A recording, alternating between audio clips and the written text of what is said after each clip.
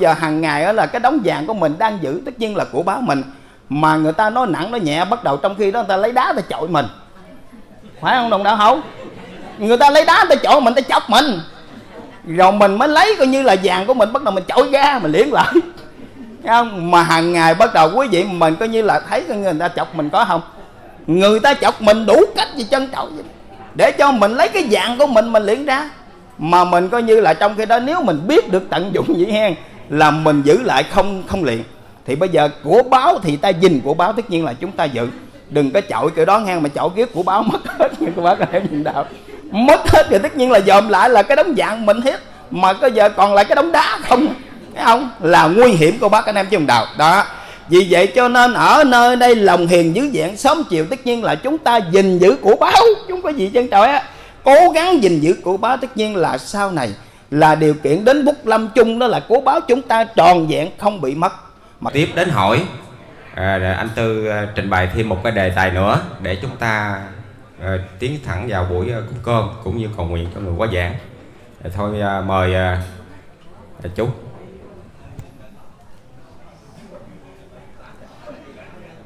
Gan đề này chừng hai chục phút nữa thôi. Nam mô Bổn Sư Thích Ca Mâu Ni Phật. quay lại Nam mô A Di Đà Phật. À, tôi à, xin hỏi à, đệ tử có hai câu giảng của đức thầy. Lòng hiền, giữ vẹn sớm chiều, xem kinh niệm Phật mỹ miều mặt ai mà có đồng đạo nhiều người nói à, hiền khô rồi hiền ngu rồi hiền minh rồi mình niệm Phật sớm chiều rồi có à, bây giờ đạo tràng mình mở niệm Phật rất nhiều cái người niệm mà không phóng tâm. Rồi đồng đạo ờ, phóng tâm như vậy cái người phóng tâm mà có được giảng sanh hay không, mà dưới cái mỹ miều nhờ đồng đạo tư giải dùm cho đồng đạo. Nghe chung, nam mô a di đà phật. Chân thành cảm ơn chàng pháo tay gian dày quý vị ủng hộ cho tinh thần Phật pháp. Và tiếp theo ông út mới nêu lên trong giáo lý đức thầy trong đó hai câu. Và trong hai câu đó là lòng hiền giữ dạng sớm chiều xem kinh niệm phật mỹ miều mặt ai. Rồi đồng đạo mới đặt lên cái câu hỏi. Hỏi gì chứ bây giờ cái phá niệm phật bây giờ nó cũng mở ra nhiều. Nhiều nơi, nhiều chỗ. Và đồng đạo chúng ta cũng đi niệm phật, phải không? Nhưng mà cái người niệm phật đó mà phóng tâm như vậy đó, mà đến cái phút lâm chung được giảng sanh không? Chỗ này hỏi mới đặc biệt về cái pháp hành đạo của mình, phải không út thưa cô bác, anh em trường đạo, rồi ông út mới hỏi thêm cái ý lòng hiền. Bây giờ cái lòng của chúng ta hiền rồi đó. Mà hiền nằm trong cái dạng nào? Hiền minh hay là hiền ngu? Hiền trí hay là hiền nhân? Hiền thánh hay là hiền đức? Phải không? Hiền nào mới được? Phải vậy không? Thưa cô bác, anh em trường đạo. Vậy thì bây giờ cái người tu chúng ta đó là tu là tu phật, tu tiên. Nhưng tu cho rõ biết cái chữ hiền ra sao thôi. Tu coi như là biết cái chữ hiền là được rồi. Phải vậy không? Thưa các bác anh em nhân đạo, hai câu giảng mà được ông út nêu lên đó là nằm trong bài viết làng mỹ hội đông. Cô bác, anh em trường đạo. Mà bài này đức thầy viết tại là mỹ hội đông gia đình của ông lâm tấn dĩ. Cô bác, anh em chưa đồng đạo? Và có tất cả 118 câu mà đồng đạo chỉ trích ra trong đây. Hai câu cho chúng tôi bàn. Thưa chưa quý vị, lòng hiền giữ dạng sớm chiều thì bây giờ chúng ta là cái người tu. Lẽ đương nhiên thì bây giờ tu là phải hiền rồi. Nhưng mà bây giờ cái lòng hiền mình như thế nào mà giữ dạng sớm chiều, xem kinh niệm phật mấy miều mặt ai? Bây giờ hiền của mình thì bây giờ mình xem kinh, mình niệm phật đó là hiền rồi đó. Nhưng mà đặc biệt cái chỗ là xem kinh niệm phật mỹ miều mặt ai đó là cái chỗ đó khó. Phải không ông? Là cái chỗ đó khó là mỹ miều mặt ai chữ mỹ có nghĩa là xinh đẹp. Mà mỹ miều tất nhiên là người ta trưng diện pheo phang, thấy không? Mà người ta đã trưng diện pheo phang rồi đó thì quý vị mình được biết mình tu rồi đấy ha. Là mình không ham muốn cái gì trân trọng thấy không? Muốn là muốn về phật chứ không muốn gì trân trọng mà nếu như chúng ta muốn về phật đấy hen thì lòng ham muốn chúng ta sớm muộn gì cũng về phật hết cô bác anh em trong đạo cho nên lòng tu sớm chiều không để lãng phật tây phương sẽ giáng đầu giường. Lời cao siêu phật pháp tổ tường tất sẽ mở rộng đường cực lạc. Muốn hiện tại trở nên bồ tát á, lời trên đây chạm khắc vào lòng. Thấy không? Cho nên bây giờ ở nơi đây là lòng hiền dữ dạng sớm chiều thì bây giờ thôi mặc kệ ai. Đúng không? Mỹ miều mặc ai? Tất nhiên đức thầy nó mặc ai mỹ miều. Thì mặc ai mỹ miều thì bây giờ bên cạnh mình bây giờ mình cứ mình niệm phật đi mình cứ cúng lại đi. Mình cứ hành đạo đi. Thì bây giờ ai khoe khoang nhà cửa, xe cộ, tàu bè, đất, ruộng gì mênh mông gì trong khi đó, kệ. Tôi không cần thiết tới không? Ai cứ như là khoe khoang mình cứ như là có tiền tỷ, tiền trăm gửi ngân hàng với kệ. Tôi không có gửi gì chân, tôi gửi ngân hàng cực lạc. Mấy miều mặt ai mà, phải không út? Kệ vì vậy cho nên đó là người tu chúng ta, đó là cơm rau đỡ dạ đói nhà cỏ che gió xương người đời. Nếu biết đủ phiền não chẳng còn dùng là chúng ta nếu biết đủ rồi là chúng ta không có nghĩ đến việc đó. Cho nên chi túc, chi nhân, ti ngọ, địa thượng, du di, an lạc, mình biết đủ rồi đấy hen, là ngầu trên đất bây giờ nó cũng được an lạc. Còn bất chi túc, chi nhân, ti sử, thiên đường, diệt bất xưng ý là nếu như chúng ta chưa biết đủ dầu ở trên cõi trời bây giờ trong khi đó cũng chưa đủ không? Không đủ được nữa. Quý vị mình biết xe phương trang bây giờ là mấy trăm chiếc như vậy đó mà cũng chưa đủ nữa, phải không? Huống hộ chi có như là mình làm sao mà đủ được, phải không? Còn chị à, chị chị hai này đấy hen, là chị biết đủ rồi hen, sáng nhổ tay tượng. Bắt đầu ngày mơi đi chợ bán. Có nhiều làm nhiều. Tu nhiêu quý vị là đủ rồi, phải không? Vì vậy cho nên quý vị mình nhìn lên thì chẳng bằng ai mà nhìn xuống đó hen là không có ai bằng mình đúng không? Cũng như đồng đạo là là là là mà hồi nãy coi như là kể lại cho quý vị mình được biết đó không? Có có bác anh em trong đạo. Thì bây giờ so lại trong thế gian này không có ai hơn ai trơn tội mình bây giờ khổ có người, người ta khổ hơn. Đừng có nghĩ vậy cho nên trong khi đó là chúng ta mới được yên tâm. Thôi các bác anh em trong đạo vì vậy cho nên bây giờ qua câu này đó, lòng hiền dữ dạng sớm chiều xem kinh niệm phật mỹ miều mặt ai bao giờ kệ, người ta khoe khoang gì đó, ta khoe khoang. Bây giờ xin miễn làm sao đức thầy cho chúng ta biết miễn cho được ngày hai cơm tẻ, đúng không? Ngày hai cơm tẻ buổi bần hàng đã có tu thân. Bởi vì sống trong cái cõi trần này, quý vị mình được biết sống đây là sống tạm thời thôi. Nên lo vừa chừng chẳng có ích kỷ vừa lo cho mình, vừa giúp ích cho đời, chừng bỏ xác. Thì có cái khác vậy thì bây giờ chúng ta không nên coi như là so sánh hơn thua cao thấp. Nhưng mà so sánh hơn thua cao thấp cho nhiều quá giàu tiền của mà nhà cửa chúng ta coi như là tạo ra cho lắm đi chăng nữa. Tàu bè muôn dặm đến chết rồi cũng nắm tay không. Không đem một cắt một đồng, chỉ ôm tội phước trong lòng mà thôi, đúng không? Không có đem được cái gì hết mà đức thầy xác định cho chúng ta biết đó là sao? Đó là nhắm mắt cũng nắm hai tay, đâu đem tiền của, đem trời hầu non, chỉ có tội phước hỏi còn đến nơi thẩm phán tuổi sân diêm đài. Phước nhiều tiên cảnh lên trời tội nhiều xa đọ nhiều ngày thăm thê, cho nên câu này coi như ông út hỏi rất là chi lý đối với người tín đồ Phật giáo hòa hảo của chúng ta đang tu theo pháp môn tịnh độ. Lòng hiền dữ dãn sớm chiều là chúng ta chấp tay niệm Phật. Là chấp tay niệm Phật, di đà lòng ta ta biết ai mà mặc ai kệ. Không quan tâm tới mà không quan tâm tới như vậy, tất nhiên là chúng ta chỉ lo tu thôi. Đó là cái lòng hiền. Còn lòng chúng ta không hiền đó là sao cô bác anh em dùng đạo? Là còn hơn thua, còn tranh đua, còn cao thấp, còn thắng thối, còn thị phi, còn phải trái. Còn đủ cách hết là cái lòng đó chưa hiền. Mà cái lòng của chúng ta đã hiền rồi thì sao? Thì bây giờ chúng ta coi như là nghĩ, bây giờ đức thầy cho chúng ta biết cái người nào hiền, tất nhiên là cái người này là sẽ được giảng sanh về cực lạc. Cho nên bây giờ chúng ta phải cố gắng tập làm hiền. Có không? Bây giờ đức thầy mới nói đây, kiếm con, hiền đức dắt về. Đúng không? Chứ đâu nó kiếm con ác đâu. Kiếm con hiền đất dắt về về nơi có phật tây phương an nhàn. Lập rồi cái hội long qua đặng coi hiền đức được là bao nhiêu? Cũng hiền không, câu bác anh em trong đạo à, cho nên chỗ khác đức thầy cũng nói coi như là chí toan gieo giống bồ đề kiếm người lương thiện. Dắt về tây phan chứ đâu nó kiếm người hung ác mà dắt về tây phan đâu phải không? Vậy thì bây giờ cũng như là kiếm người lương thiện dắt về tây phan. Mà kiếm người lương thiện tất nhiên là kiếm người hiền. Mà bây giờ lòng hiền dữ dãn sớm chiều bây giờ lòng chúng ta sao hiền đây? Cô bác anh em trong đạo đức thầy mới dạy cho chúng ta để lại cho chúng ta một kho bạc kho, kho tàng pháp bảo là cuốn sấm thi giáo lý toàn bộ dài trên dưới 500 trang trên hai chục dạng lời. Nhưng đức thầy chỉ gom gọn lại còn có một chữ hả ông út. Chữ gì? Đó là đục trong bốn cuốn ngọn ngành. Khuyên đời trao chĩa. Chữ lành cho xong còn con chữ một. Đó là lòng hiền dưới dạng sống chịu phải không? Còn có một chữ một ha. Bốn cuốn giáo lý gom lại còn con chữ hoặc giả là đức thầy cho chúng ta biết là ta giàu có cách thôn hương. Sao nữa? Dạng dân cứ chữ. Hiền lương mà làm phải không? Là cũng một chữ hiền thôi. Vậy thì bây giờ ở đây là lòng hiền giữ dạng sớm chiều, tất nhiên là chúng ta phải giữ cái lòng hiền. Để mà sớm chiều công phu bá sám của bác anh em trường đạo. Thì bây giờ nếu như ai có hơn thua chanh chua cao thấp, mặn lạc thị phi phải trái đúng sai gì đó thì kệ. Thấy không? Mà bây giờ chúng ta chỉ biết cái câu nam mô a di đà phật, người ta quan trọng về vấn đề tiền bạc, vấn đề châu báu, vấn đề của cải tài sản, ta khoe khoang đủ thứ hết. Nhưng mà mình cũng vậy.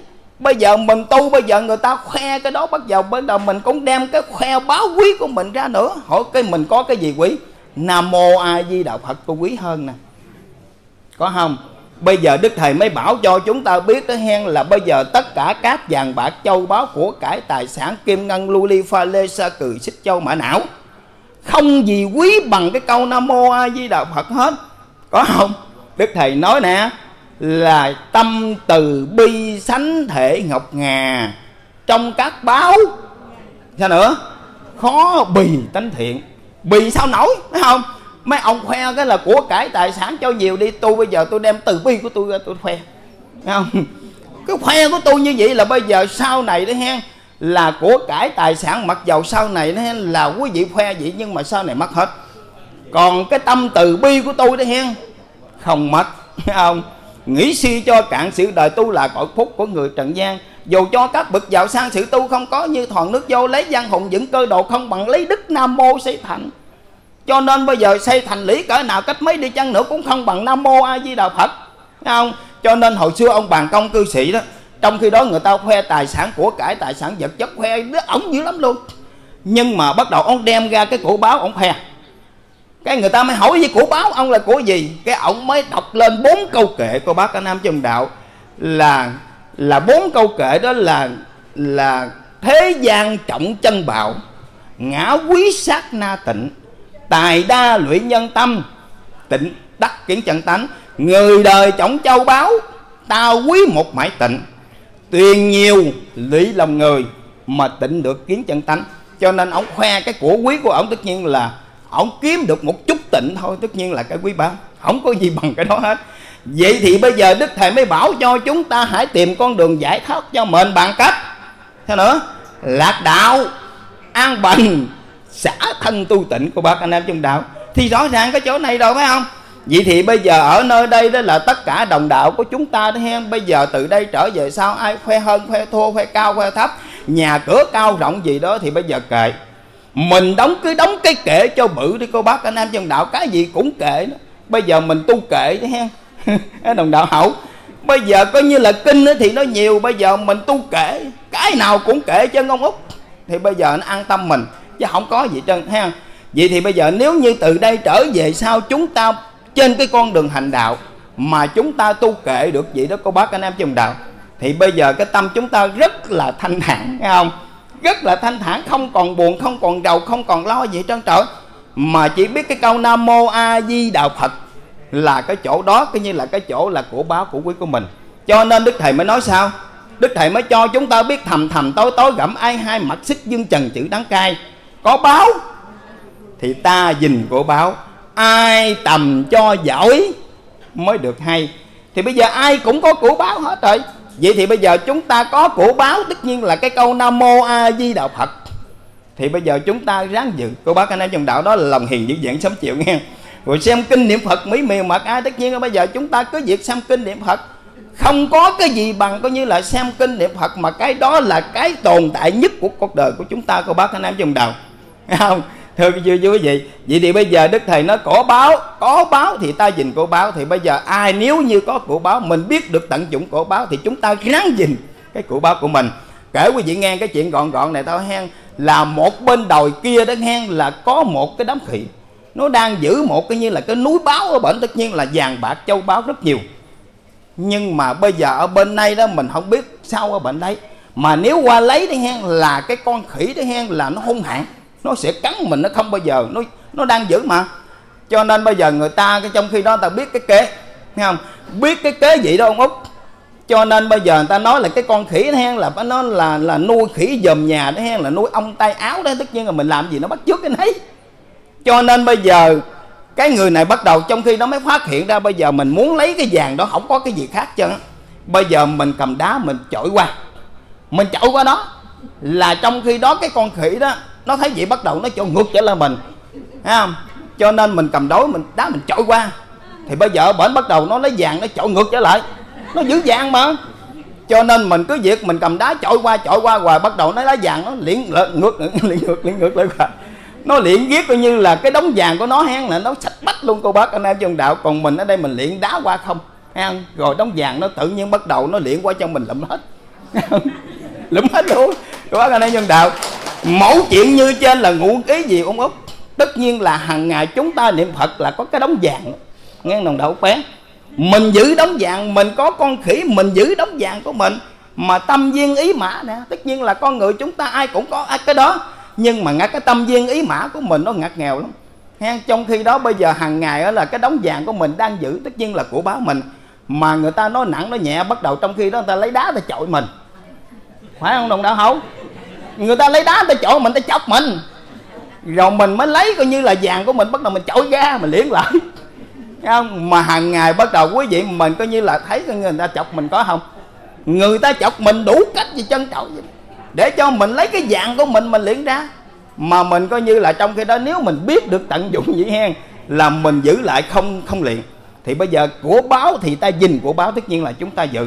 Đừng có chọi kiểu đó ngang mà chọi kiếp của báo mất hết như các bác anh em nhìn đạo mất hết rồi, tất nhiên là dòm lại là cái đống dạng mình hết. Mà có giờ còn lại cái đống đá không? Thấy không? Là nguy hiểm cô bác anh em trong đạo đó. Vì vậy cho nên ở nơi đây lòng hiền dữ dạng sớm chiều tất nhiên là chúng ta gìn giữ của báo chúng có gì chân trời á. Cố gắng gìn giữ của báo tất nhiên là sau này là điều kiện đến bút lâm chung, đó là cố báo chúng ta tròn vẹn, không bị mất. Mà không bị mất tất nhiên là chúng ta mới được giảng sanh về cực lạc. Phải không? Cho nên trong khi đó quý vị mình nghe là những cái đoạn giảng này mà chúng ta coi như là hấp thu qua cái tư tưởng của mình để mà chúng ta coi như là cố gắng hành trì sáu chữ nam mô a di đà phật, giữ đừng cho mất cô bác anh em chưa đồng đạo, phải không? Thưa chưa quý vị, vì vậy cho nên bây giờ đức thầy mới bảo cho chúng ta cố gắng hành trì, gắn trị tâm tưởng niệm canh thâu nằm, đi đứng, hai ngồi chẳng chấp. Niệm phật nào đợi mùi hương, miễn tâm thành kính, tòa chương cũng gần cô bác anh em trong đạo. Đi đứng nằm ngồi gắn niệm chớ quên không đợi về thời khắc là sáu chữ nam mô a di đà phật. Chúng ta cố gắng dình đó là có báo thì ta dình của báo. Vì vậy cho nên nếu mà được như vậy, thì bây giờ chúng ta coi như là khi mà chúng ta muốn giảng sanh về thế giới cực lạc là lòng của chúng ta phải trong sạch. Có lắm kẻ muốn về cực lạc mà lòng như bả rác cống mương. Ví dụ mà phật có thương, cũng không thể đến bên giường rước đi được không? Cho nên bây giờ chúng ta phải giữ tấm lòng cho trong sạch. Muốn về cực lạc tây phương các điều, hung dữ chớ dương điều nào vì vậy cho nên bây giờ chúng ta muốn lội qua sông những đồ mang gánh, lòng thòng bỏ đi.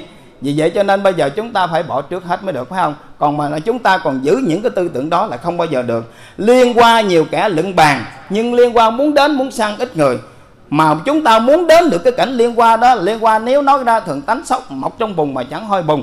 Nhưng nhưng mà theo nghĩa của Phật dùng liên qua là trốn không tùng trần gian là người tu hành cũng phải như sen trắng mọc trong bùn mà chẳng hơi bùn. Nhưng theo nghĩa của Phật dùng là liên qua là trốn không tùng trần gian. Tất nhiên là chúng ta ở trong cõi ta bà, mà giống như kinh là sen trắng. Thì bây giờ chúng ta phải làm sao cho nó được trong sạch? Chỉ có ba cái nam trong đạo. Đó. Vì vậy cho nên qua câu này coi như là nếu mà tình tiếp qua coi như là hiền ngu, hiền minh, rồi hiền trí, rồi hiền thánh, rồi hiền đức thì cái dân dân nó có nhiều cái hiền lắm, ông út ơi.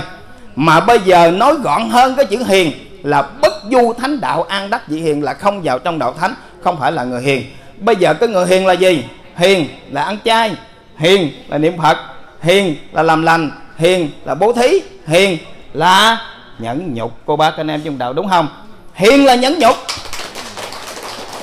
Bây giờ ăn chay nè, niệm phật nè, làm lành nè, bố thí nè, cái nào cũng là cái người hiền mới làm, phải không? Nhưng mà những các cái như trên mà chúng ta thiếu nhẫn nhục là chưa phải người hiền. Cúng lại mà ai chọc đến bắt đầu cứ nhảy gô gô, phải không? Rồi bây giờ đang niệm phật vậy đó, bây giờ đi niệm phật, về tới nhà con dâu nó hỏi, mẹ mẹ bữa nay đi đâu về tao đi đâu, đi đi, kể tao, hỏi tao chi vậy không? Cái này chưa không? Đi niệm phật về trả lời đâu gọn ghẹ nó mẹ, đi niệm phật sớm giờ. Con ở nhà coi như là làm công chuyện rồi, xong chưa này kia, xong ha. Thì cái chuyện đó nó ổn định, phải không? Chứ có đâu mà trong khi đó mà cái câu niệm phật mình đã có niệm, nhưng mà trong khi đó chưa có niệm được cái trong tâm. Các bác anh em trong đạo niệm phật là niệm trong tâm, chứ đừng niệm lớn nó bầm lá gan phải không? Thôi chứ quý vị, vì vậy cho nên cúng lại nè, hiền nè, niệm phật là hiền nè, ăn chay là hiền nè, bố thí là hiền nè. Nhưng mà cái nào cũng phải nhẫn nhục ở trọng nha cô bác anh em trong đạo. Cho nên cúng lại cũng phải nhẫn nhục, bố thí cũng phải nhẫn nhục làm lành cũng phải nhẫn nhục. Mà nếu như quý vị mà trong khi đó mà đi làm từ thiện, đi làm xã hội, đi thả cá phóng sanh đấy hen mà người ta chọc mình chút xíu thôi, giống như ba nhẫn vậy đó. Nhẫn dữ lắm, nhẫn để các bạn một trăm điều nhẫn vậy đó. Nhưng mà tới cuối cùng đầu đi hen, là người ta đeo ta hỏi quà tôi không có thời gian để kể. Mà mới đầu trả lời tử tế dữ lắm, nghe nhưng mà cuối cùng rồi người ta hỏi, chữ này chữ gì vậy ông? Mà số tôi quên rồi cái chữ ông cô nội mà chứ chữ gì? Cứ hỏi hoài vậy, phải không? Cho nên viết là bực bội đồ, bây giờ trả lời thuyết dứt khoát cho đừng hỏi nữa chứ không gì chân trời không? Thưa cô bác, anh em dân đạo nhận không được. Còn cái ông này bố thí ở trong như là bệnh viện chính, tôi thấy rõ ràng nằm kế bệnh, nằm kế giường của tôi này ha. Ông thấy cái bà này bà đeo, bà hỏi xin hoài, cho nên ông này có móc ra 100 ngàn sọp lắm, đưa ra. Đưa ra xong bắt đầu cái bà này bắt đầu bà quay trở lại, bắt đầu bà cảm ơn rối riết bà nói, chú ơi, chú hồi sớm giờ ai ta cũng cho 10 ngàn 20 ngàn chân mà chú thiệt tình coi như là cái lòng của chú bao dung, rộng lượng, chú cho tôi 100 ngàn. Tôi cảm ơn chú, tôi chúc cho chú được mạnh khỏe, được vui vẻ, được bình an, vô sự tật bệnh tiêu trừ, tai qua nào có bà đi chỗ khác giùm cái. Bà lằng nhằng một hồi nữa tôi lấy lợi bây giờ nữa tôi cho bà cho bà đi, bà lằng nhằng hoài á. Bà đi không?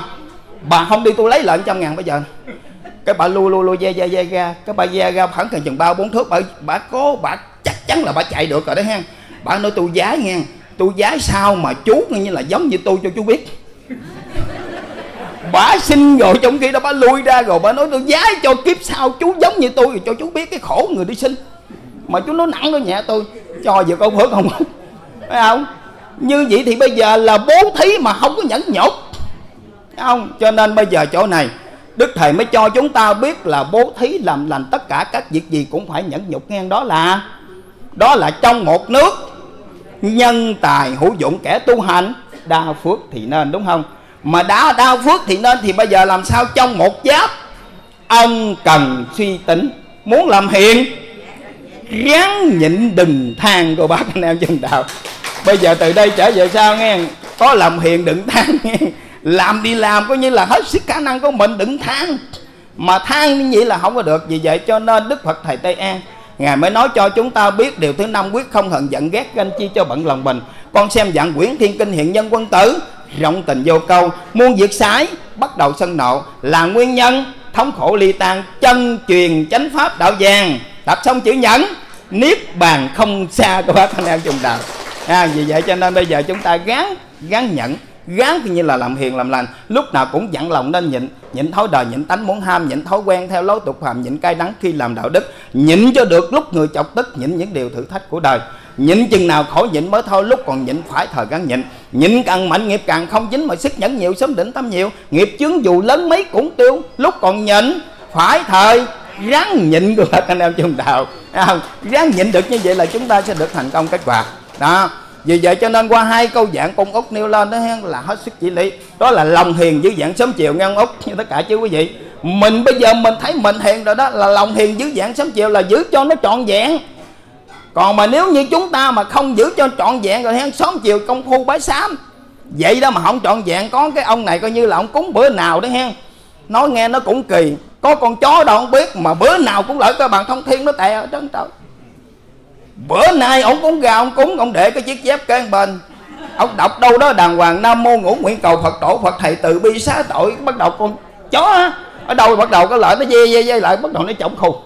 Nó mày chết ổng gài coi như là nhiều lần rồi, tao coi như là hỷ xả mày rồi, bữa nay không còn hỷ xả mày được. Ông lấy chiếc dép, ông phê một cái bóp. Còn chó là cẳng cẳng cẳng cẳng. Quý vị mình thấy cái chỗ này đâu có ông út cái chỗ lòng hiền dữ dạng sớm chiều sớm chiều, ổng coi như là cúng rồi đó, mà không dạng thôi bây giờ nó làm gì làm thôi, bây giờ mình chịu khó, mình đi hốt một chút xíu thì có sao đâu. Mà ông quết nó một cái, nó là cản cản mình, nếu mà nó biết nói, ông ơi, ông cúng lại nãy giờ từ bị hơi xả, ông quết tôi muốn bể cái đùi đùi. Vỗ tay vỗ đi. Bây giờ phải làm sao nó chọn vẹn mới được, cô bác. Anh em trong đạo chứ còn bằng kiểu đó là không có được, cô bác. Thôi chứ quý vị thôi thì bây giờ ở nơi đây tất nhiên là từ đây trở về sau chúng ta hãy ráng giữ dạng ngang lòng hiền, giữ dạng sớm chiều, tất nhiên sớm chiều. Bình đẳng, chớ lời. Thường hành như vậy, nhớ lời đừng sai hoặc giả lại sớm với chiều. Gắn ký chung chí nguyện cầu thì cũng được tội chương dự kế. Vậy thì bây giờ chúng ta hãy gắn giữ dạng cho nó hai thời cúng lại cho nó được trọn vẹn. Chứ còn nếu mà chúng ta cúng lại mà không được trọn vẹn thì nó cũng uổng của bác anh em chân đạo thôi thì à, cũng chưa quá rồi. Nếu như quý vị mình ngồi lại nghe thì nó chưa quá thôi. Bây giờ chúng tôi cũng xin mà chân thành cảm ơn tất cả đồng đạo, tất cả chứ quý vị ủng hộ cho tinh thần Phật pháp. Và suốt trên dưới cũng như là hai tiếng 3 tiếng đồng hồ là đồng đạo mười nghĩa cũng như đồng đạo bảy siêu và chúng tôi trao đổi giáo lý. Và tất cả quý vị ủng hộ cho tinh thần Phật pháp. Và hôm nay tất cả chứ quý vị ủng hộ như thế này đó, là chúng tôi nghĩ rằng coi như là cái duyên phước, coi như là đứa em của tôi là hàng một của tôi đó là cũng có phước lớn lắm, cô bác anh em trong đạo. Mà được quý vị chiếu cố để mà đến đây và đồng thời để mà cúng trong cái ngày chánh lễ kỷ niệm này. Và đồng thời quý vị cầu nguyện cho hương linh, cho cụ quyền thất tổ, cho người quá giảng là hiền mộ của chúng tôi. Được nương vào công đức quý vị, coi như là một lần nữa. Thì chúng tôi coi như là cũng xin gửi đến tất cả chứ quý vị lời chào mừng kính cẩn và sự biết ân đồng hậu tha thiết nhất của chúng tôi là đại diện cho gia đình. Và chúng tôi cũng không quên cầu nguyện ân trên hồng ân tam bảo luôn luôn lúc nào cũng gia trì hộ độ cho tất cả chứ quý vị. Thân được mạnh khỏe, tâm được kinh an, trí tuệ luôn được mở mang và tu hành được luôn tinh tấn. Và sống trên đời không gì bằng tinh tấn, là tinh tấn là trí huệ của đời ta. Sống điêu linh trong kiếp sống, ta bà chỉ tinh tấn mới vượt qua khổ hại. Và chúng sanh nếu tu hành tinh tấn đều được đi tới cảnh niết bàn. Quyết lòng tu sẽ được bước sang còn lần lượt nghi năng khó tới. Cho nên nếu như tất cả các chúng ta coi như là có một cái tấm lòng tinh tấn, là hàng ngày chúng ta chịu tu tập như vậy thì chắc chắn rằng đến cái phút lâm chung, cuối cùng là chúng ta sẽ được giảng sanh về thế giới cực lạc. Và chúc quý vị, chúc quý vị được thân mạnh khỏe, tâm được kinh an, trí tuệ luôn được mở mang và tu hành được luôn coi như là tinh tấn. Và cho đến ngày Long qua đại hội khai mở, tất cả chư quý vị mình có đầy đủ hạnh lành, đầy đủ quốc viên mà chúng ta sẽ được gặp thầy trong ngày Long qua đại hội tăng dân thánh đức. Xin lễ phép cúi đầu kính chào toàn thể chư quý vị. Nam mô Bổn Sư Thích Ca Mâu Ni Phật, Nam mô A Di Đà Phật.